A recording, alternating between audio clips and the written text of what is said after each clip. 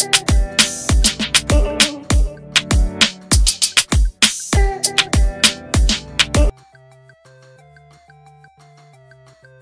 ะชาชนใจฟูพอทอก้าวไกลเลิกตั้งป้อมใส่กันสมชัยชี้สองเดือนนี้ได้เห็นกึงว่าที่รัฐมนตรี สมชัยลั่นเพื่อไทยก้าวไกลไม่ตั้งป้อมแค่นี้ ประชาชนก็ใจฟูชี้ใครมีกึงมีฝีมือในคณะทำงาน 23 ด้านมีสิทธิ์ได้นั่งรัฐมนตรี เดินหน้าหาเสียงสวหนุนโหวตนายกรัฐมนตรี วันที่ 31 พฤษภาคม 2566 นายสมชัยศรีสุทธิยากรศูนย์วิจัยการเมืองและการพัฒนามหาวิทยาลัยรังสิต และอดีตผู้สมัคร ส บัญชีรายชื่อ พักเสรีรวมไทยโพสต์เฟซบุ๊กระบุถึงการถแถลงข่าว 8 พักร่วมตั้งรัฐบาล มีโชว์หวานสยบข่าวลือขัดแย้งกันระหว่างนายพิธาลิ้มเจริญรัตหัวหน้าพักก้าวไกล และนายแพทย์ชนน่าน สีแก้ว หัวหน้าพักเพื่อไทยว่าหวานไปทั่วจักรวาลคุยกันได้ไม่ตั้งป้อม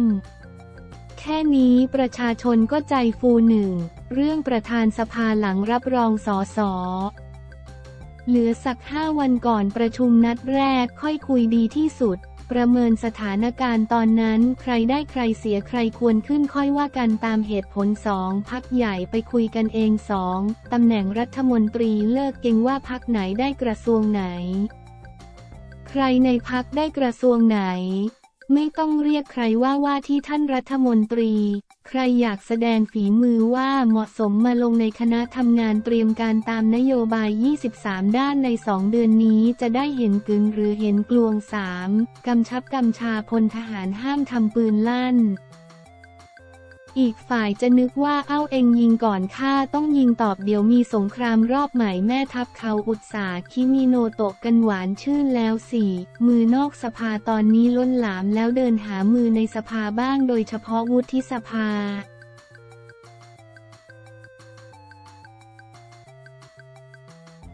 หาเสียงประชาชนจบลงเมื่อวันเลือกตั้ง ตอนนี้ต้องหาเสียงในสภาสูง ซึ่งจะมีผลในวันลงมติเลือกนายกรัฐมนตรี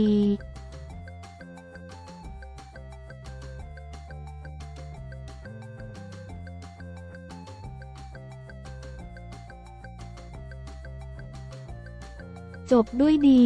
หมอนงนลินีโพสต์ขอขมา สรยุทธหลังโดนฟ้องใส่ร้ายปมโควิดจบด้วยดี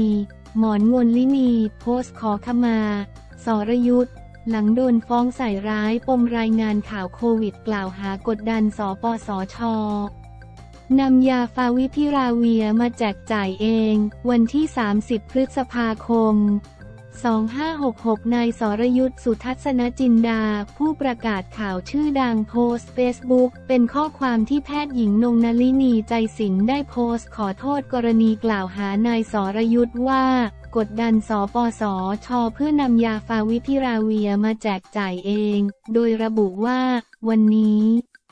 จบด้วยดีคุณหมอมาพบและได้พูดคุยกันเป็นที่เข้าใจครับ คุณหมอนงนลินีได้ออกประกาศตามนี้ครับ อ่านข่าว สรยุทธตอบนิ่งแต่เจ็บหลัง หมอ โพสต์จวกถามเป็นอะไรถึงกล่าวหาคนอื่นง่าย ๆ ประกาศโฆษณาขอโทษ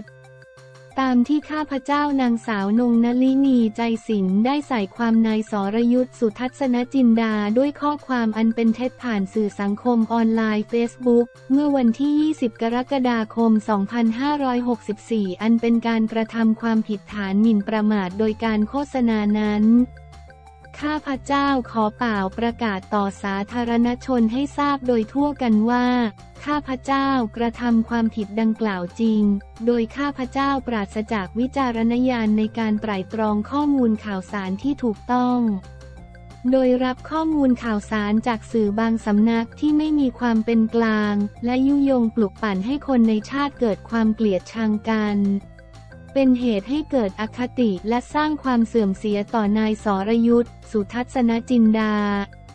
จนกระทั่งเผยแพร่ข้อความอันเป็นเท็จใส่ร้ายนายสรยุทธ์สุทัศนจินดาดังกล่าวข้าพเจ้าจึงขอแถลงข้อความจริงต่อสาธารณชนให้แจ้งชัดว่าหนึ่งนายสรยุทธสุทัศนจินดาไม่เคยรายงานข่าวเท็จ fake news เกี่ยวกับการรักษาพยาบาลผู้ป่วยในสถานการณ์การแพร่ระบาดของโรคติดเชื้อไวรัสโคโรนา 2019 ตามที่ข้าพเจ้าใส่ความให้ร้ายแต่ประการใดสองนายสรยุทธสุทัศนจินดาไม่เคยร้องขอกดดัน หรือเรียกร้องให้สำนักงานหลักประกันสุขภาพแห่งชาติ สปสช กรมการแพทย์เบิกจ่ายยาฟาวิพิราเวียให้แก่นายสรยุทธ์สุทัศนจินดา เพื่อที่นายสรยุทธ์สุทัศนจินดาจะได้นำมาแจกจ่ายให้แก่ประชาชนเอง ตามที่ข้าพเจ้าใส่ความให้ร้ายแต่ประการใดสามนายสรยุทธ์สุทัศนจินดาไม่เคยรายงานข่าวเกี่ยวกับสถานการณ์การแพร่ระบาดของโรคติดเชื้อไวรัสโคโรนา 2019 โดยมีจุดมุ่งหมายแอบแฝงทางการเมือง เพื่อเอื้อประโยชน์หรือสนับสนุนการเคลื่อนไหวทางการเมืองของกลุ่มบุคคลใด ๆ ตามที่ข้าพเจ้าใส่ความให้ร้ายแต่ประการใด บัดนี้ข้าพเจ้ามีความสำนึกผิดในการกระทำดังกล่าวอย่างยิ่ง ข้าพเจ้าจึงได้ขอขมาโทษและชดใช้ค่าเสียหายให้แก่นายสรยุทธสุทัศนจินดาด้วยความเต็มใจเป็นเงินจำนวนหนึ่งแสนบาท โดยนายสรยุทธสุทัศนจินดา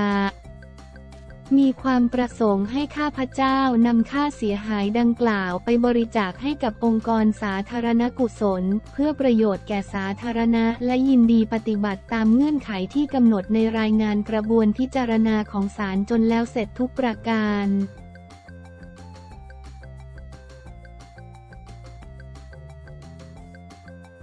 คิตตี้ภรรยาเอสกันตะพงขอบคุณคุณหมอที่ช่วยชีวิตสามีแฟนๆ ยังคงติดตามอาการป่วยของพระเอกหนุ่มช่อง7เอสกันตะพงบำรุงลักอย่างต่อเนื่อง ซึ่งก่อนหน้านี้คิตตี้คริสติน่าภรรยาของพระเอกหนุ่ม ได้อัปเดตอาการป่วยของสามีว่าได้ย้ายออกจาก ICU มาพักอยู่ห้องปกติแล้วทำให้บรรดาคนที่เป็นห่วงได้ใจชื่นกันมากขึ้น ล่าสุดคิตตี้ได้โพสต์ขอบคุณคุณหมอที่ช่วยชีวิตสามี ว่า thank you so much for meeting us Yesterday this is คุณวิสรุต at วิสรุต boss who by pure luck was at the big debate event by CH7 when my husband at S กันตะพอง suffered sudden cardiac arrest คุณวิสรุต is an ER doctor and played a crucial part in saving my husband's life We will be forever grateful and cannot thank you enough ต้องขอกล่าวคำว่า ขอบคุณมาก ๆ แก่คุณหมอวิสรุต at วิสรุต boss ที่มาพบกันเมื่อวานนี้ ซึ่งเป็นผู้ที่บังเอิญไปงาน Big Debate ทางช่อง CH7 ที่อยู่ในช่วงเวลาที่เกิดเหตุการณ์เมื่อสามีของฉัน at S กันตะพองเกิดอาการหัวใจหยุดเต้นกระท่านหัน คุณหมอวิสรุตเป็นแพทย์ฉุกเฉินในช่วงเวลานั้น และมีส่วนสำคัญในการช่วยชีวิตสามีของฉัน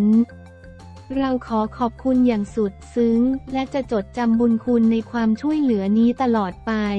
ซึ่งคงไม่มีคำขอบคุณใดที่จะเพียงพอต่อการช่วยเหลือในครั้งนี้ ขอบคุณรูปจากไอจี The Kitty Way